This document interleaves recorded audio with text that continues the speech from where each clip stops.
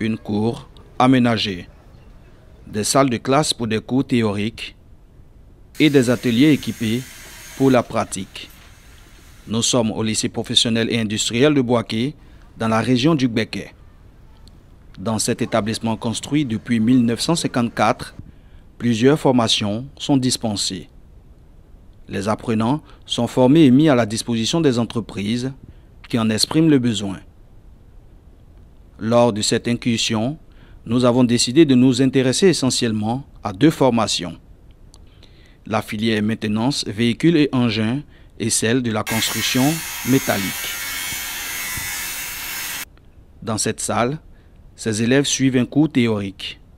La leçon du jour, les différentes caractéristiques d'un moteur. C'est une notion importante qui va apprendre aux élèves à faire la différence un moteur d'un moteur qui a une petite cylindrée et d'un autre qui a une grosse cylindrée. Parce que cette notion est importante parce qu'elle détermine la consommation et la puissance euh, des moteurs. Après ce cours, nous irons en pratique pour étudier le moteur. Nous sommes en moteur et en première année, nous apprenons aux élèves à refaire un moteur, déposer un moteur, démonter un moteur, contrôler ce moteur-là et prendre les éléments qui sont bons, remplacer ceux qui ne sont pas bons et remonter pour que le moteur marche.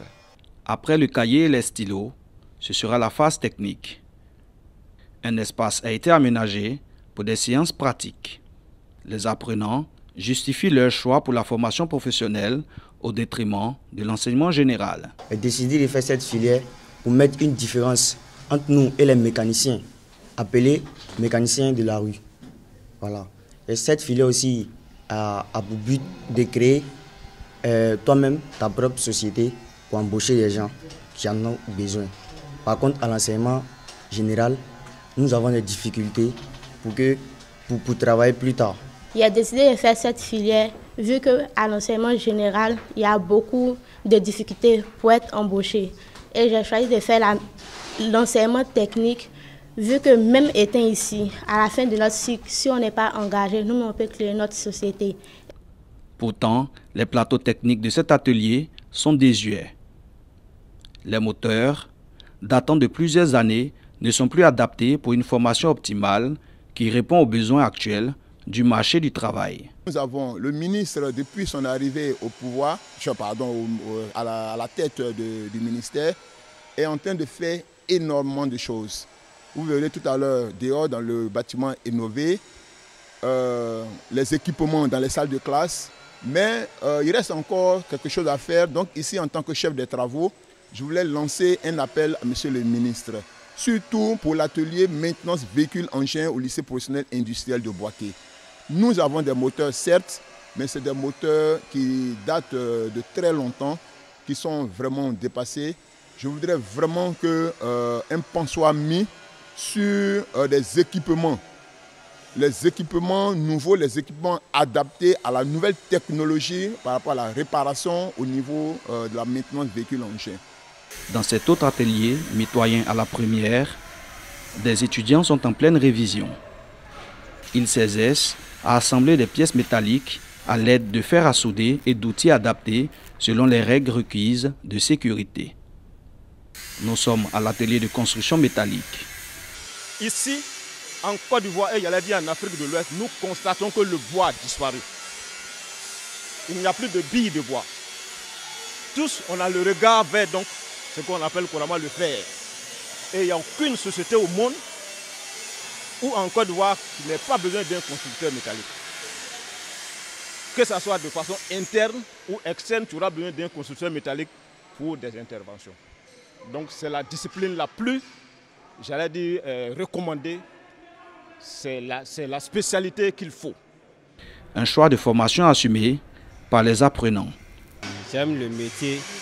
Bon, c'est une bonne chose.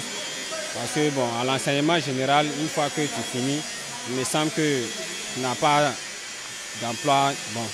Et à l'enseignement professionnel aussi, une fois que tu finis, même si tu n'as pas assez d'aide, mais au moins tu as une idée et puis tu as un métier assuré, tu peux t'installer plus rapidement, surtout la construction métallique. Équiper les établissements techniques et professionnels, former et donner aux jeunes les moyens pédagogiques afin de leur offrir une alternative crédible face au chômage, c'est l'objectif des autorités ivoiriennes. D'autres projets, tels que l'Académie des talents et l'école de la deuxième chance, ont même été lancés.